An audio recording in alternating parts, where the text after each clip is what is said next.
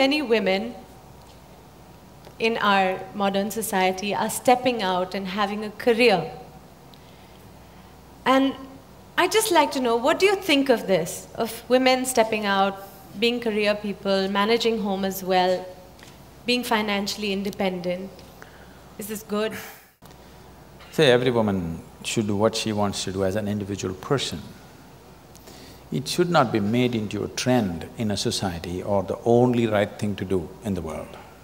Because I think if… if a woman is… intends to have two children and raise them, I think it's a full-time job. I'm not saying she should not go out and work. If she wishes to, as an individual person, she's free to do what she wants to do. But having two children is not about reproduction. You're manufacturing the next generation of people.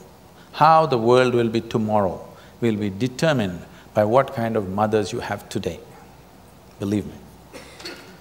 So, why is it… you know, I've seen many ladies coming to me and say, when I ask, what are you doing? Oh, I'm just a housewife. I said, why do you say you're just a housewife? You… you don't seem to understand the significance of, you know, being able to nurture two or three new lives. It's not…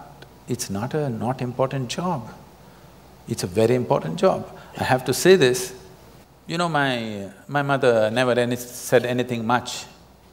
She never went about telling me, I love you or you love me or anything of this kind. It's just that she simply lived. And we, it never occurred to us whether she loves us, she doesn't love us, such questions never came, because her whole life was dedicated to us, you know? Mm. We know she lived for us, she never said it once, but that's all it is. And I cannot imagine that part of my life without her being around. It is just that she never played an active role in what I am, but the background that she set, without the ambience that she set for me, I would never be what I am, for sure. Whatever else may be within me, still the soil that she set around me, without ever interfering with who I am, what I am, just the ambience she set around me and the effort she took to set that ambience, she gave her life to set that ambience, knowing fully well it will play out somewhere. And why does anybody think this is not an important job? In my life, I feel what she did is the most important thing she did to me. And one of the most important things that have happened to me is early life, you never had to think about anything. It was simply, she made sure the background was simply always there, without a single thought about it. Unconcerned about what's happening around you is what gave me the possibility of sitting with my eyes closed for days on end. Otherwise, this wouldn't be possible, I'm saying.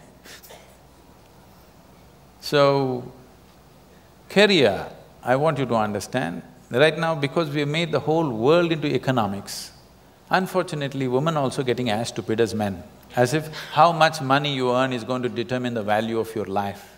No, it is just procurement of things that you need.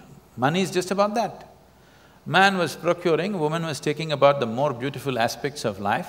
Now woman also wants to procure, if there is such an economic need in the family, fine, she must do it.